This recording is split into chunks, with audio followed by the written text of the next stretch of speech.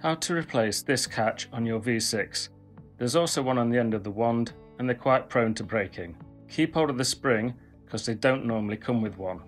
I will however put a link on the description to one that comes with a spring. On the underside there's a circular part that sits on top of the spring and a little arm each side.